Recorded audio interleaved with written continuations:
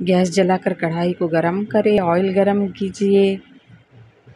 Oil अच्छे गरम होने के बाद ये रेडीमेड पानी पूरी चिप्स हैं, इसे अच्छे से दोनों साइड पलटते हुए फ्राई कर लेना है। देख रहे हैं ना, वीडियो में दिखाया जैसा बिल्कुल ऐसे कर लीजिए। वीडियो अच्छी लगे तो लाइक, शेयर, सब्सक्राइब ज़रूर करें। तो इसको दोनों साइड पलटते हुए फ्राई कर लीजिए। बढ़िया कम आँच पे ही। अच्छे से, बहुत जल्दी सीखते हैं, बहुत जल्दी से ये फूलने लगते हैं। एक मिनट का काम है ये देखिए, ये हो गए, देखिए अब इसे बाहर निकाल दीजिए ऑयल से। सारे को बाहर निकालें, फिर आगे देखते हैं।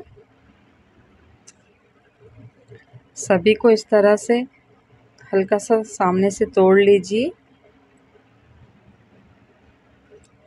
इसे प्लेट सर्व करने के लिए इसे तोड़िए अब इसमें डालिए एक बारीक कटा हुआ प्याज, सभी में फिल कर दें।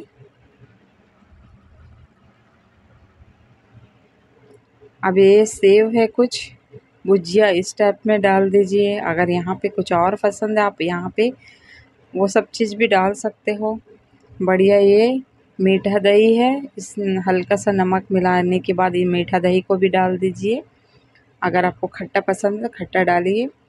और ये अनार के दाने हैं इसे भी डाल दीजिए। इसका इससे इसका टेस्ट चबाते सब बहुत अच्छा आता है। एक साइड डालने के बाद फिर ऊपर से फिर प्याज डालना है सभी में।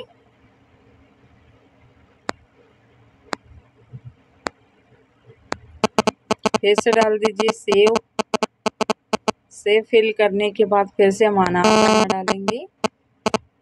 अनार के दाने दही डालना, दही के बाद अनार डालेंगे सभी में फिल कर लीजिए इसमें। बढ़िया इस तरह से सभी को, सभी में डालने के बाद आप यहाँ पे अनार दाने से और सजा लीजिए।